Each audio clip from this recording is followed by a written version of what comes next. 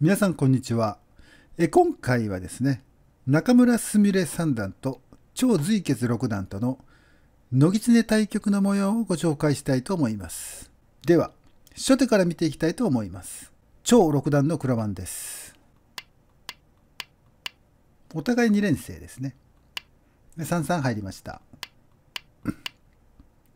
桂馬にかけまして、ぶつかりました。日本の棋士はね、あの難しい定石はあんまりやってこないですね。基本的に。で、かかって、で、3三に入りまして、また同じようにね、そしてここで跳ねて、押さえて、こっちをね、二段刃にします。まあ、切る手が普通なんですけれども、まあ、こっちもあります。はい。で、切って、かけ継ぎましたね。まあ、切っていく手もあるんですけれども、まあ、単に取りましたね。で、伸びまして。で、当たり打って、当たり打って。で、ここで両掛かりしました。で、まあ、付け伸び定石ですね。まあ、あの、昔のね、昔の付け伸び定石ですね。今はまあ、あの、ここ、つけたりするのが多いんですけれども、こすんだりとかね、まあ、オーソドックスな昔からあるね、付け伸び定石ですね。押さえて、で、ここでこすんだんですけれども、まあ、この場合は実はですね、桂馬に滑った方がいいんですよね。この根拠を奪われますので、この石のね。まあ、こっちの方がちょっといいんですけれどもね。まあ、中村さんはこすんで、まあ、手厚くいきました。まあ、相手が桂馬にここ打たなかったからね、ここで逆に桂馬を打ち打ってきました。本手です。で、出て、で、引いて、で、一見飛びました。で、覗きましたね、ここでね。まあ、継ぎまして。まあ、一応これ今、あの、まあ、今すぐ切りはね、発生しないですから、まあ、別にいいんですけれども。で、コスみまして、そして桂馬に打ちました。さあ、ここでここ打ちます、ね。今はもうこう桂馬に打ったから、切りは発生するんですけれども、うん、ちょっとどうでしたかね。やっぱここ、あの、連絡しといた方が良かったんじゃないでしょうかね。そういう気がしますけれども、まあ、攻撃的な手ですね。逆に攻めるぞみたいなね。切りはあるけど、こっちはこっちで、こっちは生きてるからということですね。で、まあ、ここに飛びました。で、まあ、こすんでいきまして、そして、あの、まあ、逆襲しましたね。さあ、えー、そうですね。今、ここに打ったんですけれども、実はね、まあ、ここではね、あの、ここに打つのが本手なんですよね。で、まあ、今度、あの、この切りとね、こっちの挟む上を狙うというのがね、まあ、本手なんですけれども、中村さんは先にこっちに打ちましたね。はい。で、まあ、さあ、ここでね、ここにぶつかった手がどうも悪手で、これは、今言ったこの手を自然と打たせてあげてるんですよね。で、これがかなりの悪手でしたね。逆にここの手は、あの、こっちの手よりはいい手じゃなかったんでですけれども、逆にいい手になりました。で、跳ねて、そして出てきましたね、ここでね。で、押さえて、切って。さあ、これ一応切られましたね、これでね。で、まあ、こう、つけてきました。えー、つけてきたんですけれども、跳ねて、伸びて、で、ここ引きました。で、覗いて、一回ここでね、押しまして、で、ついで、そして、えー、継ぎましたね。で、ここでね、まあ、ここ逃げたんですけれども、えー、ここで一回跳ねまして、まあ、これ、まあ、当たり打たれるわけにはいかないので伸びたんですけれども、はい、ここでね、あの、この手がね、スミレマジックですね。はい。これでちょっと困りましたね、黒が。ここに打たれて。これ渡られたら、これあの、死んでしまうのでね、生きないといけないんですけれども、まあ一回ね、まああの、張って、まあ、まあ、こっちの、ね、連絡を図ると。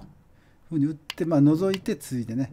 で結局、ここ遮らないといけないんですけれども、まあ、出ていって、押さえて、で、こういった時に、ここ継ぎたい、継ぎたいんですけれども、下がってしまったら、これ攻め合いで負けてしまいますね。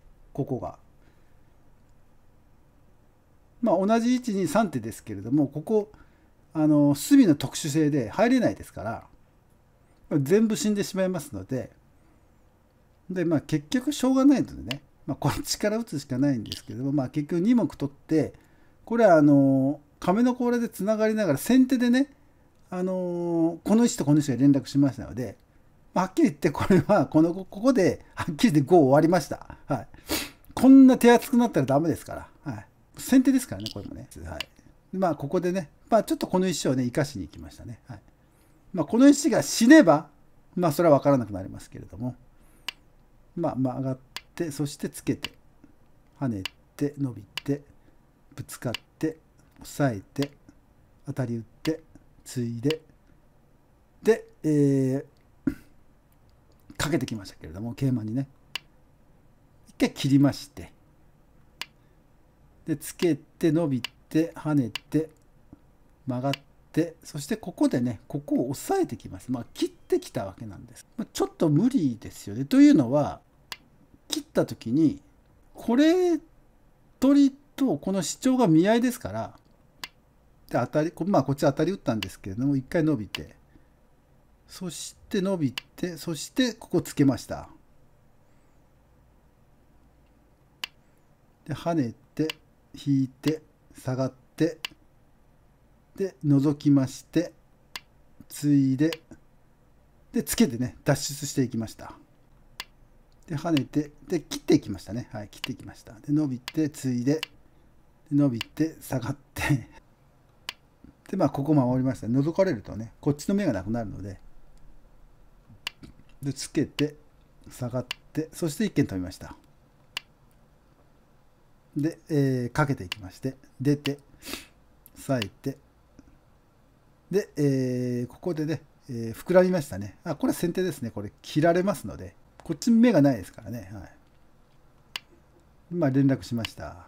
で当たり打って下がって当たり打って伸びて当たり打って伸びてでここで桂馬に滑っていきましたね、はい、こっちの石はまあ大丈夫だということです。でまあ押さえてでここで切りましてついでで一間飛んで、まあ、ついででこっちに打ってきましたね。まあこれはあの相手の連、まあ、桂馬を打った時連絡を防ぐと同時にね自分は連絡するっていう手ですね。はい、ちょっとこっちを狙ってますけれどもまあここでね手抜いてここぶつかってきました。まあ死んでないと。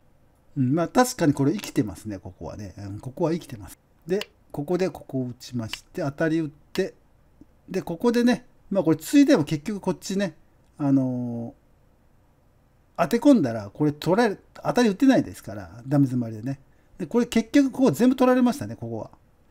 ね、でまあここに打ったんですけれどもまあ押さえてこれはね生きてるんですよね実は。こう打ってこう打ちましてで当たり打ってでここではねあのー、これ継がなかったですねはいこの継がずにまあ先手だってことですね。これを多分まあこ取ったらまあこういうふうに桂馬でいけばこれが全体が目がないということですね。でこっちは生きてるということですね。まあなのでまあここでねここに引きました。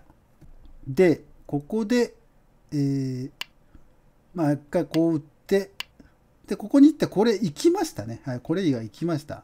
でこの石まだ生きてないので実は、うん、生きてないので。出ていったんですけれどもね生きてないので。抑えられたらこれ死にますので。でまあここ、えー、引きましてで置きまして曲がってこの石は生きてますねちなみにね。はい。でまあ跳ねてそしてここで継ぎましたね。で、えー、ここ、えー、引きましてそして、えー、かけ継ぎましてで下がって。でまあこっちが今度ねあの跳ね継ぎます。で、えー、まあ生きてはいますけれどもね、はい。まあ、でここでね手を抜いてねこっち一見飛びました。で下がって押さえてそして一見飛びました。で当たり打ってここで手を抜いてねこっちに打ちましたね。はい。これあの封鎖されたらまたねこれ生きてないのでこれ。まあしかしなんかこっち打ちましたね。はい。これ大丈夫なんでしょうかねおそらくここでこれ切ったら、これ死んだ、死にま、死んでたと思いますね。おそらく。うん。おそらく切ったら死んでたと思います。これは生きてないですから。うんまあ、息はありますね。息はあるんですけれども、ここでこう切ってね。まあ、こうやったら息はあるんですけれども、まあ、抜いた時に、まあ、こういって、こういった時にね、ここを告げないですね。うん、こっちを打たないといけないですね。で、で結局これが取られてしまうという。はい。そういうことになりま、なりそうです。はい。まあ、ただ実戦ではね、まあ、一回跳ね打って、そして一回抜きましてね。で、一回覗いて、で、こうつけて、跳ねて、なんとかまあ、連絡しようとしてますね、これね。中で生きるよりも。っていうか、中で生きれないし、今、この石がね。でこう、で、たり打って、引いて、まあ、すごい頑張ってますけれども、まあ、飛んで、伸びて、張って、伸びて、まあ、中村さんは別にね、これ取らなくても、もう、もう40問ぐらい勝ってますから、張って、伸びて、で、一軒飛んで、で、結局、まあ、この石がね、まあ、連絡しましたので、こっちとね。はい。で、ここでですね、えー、超六段がね、えー、取りしました。はい。もう、これもう、もう地合で全然足りないですから、なんかを取らないといけないんですけれども、取る石もないし、全部生きていますからね。はい。まあ、ということでね、まあ、ここで投了しました。そうですね、まあ、はっきり言って、ここでね、手が発生して、まあ、それ以降はもう、一方的でしたね。はい。一方的でした。この石もね、まあ、取りに行ったら取れたんですけれども、まあ、そこまでしなかったです。はい。以上です。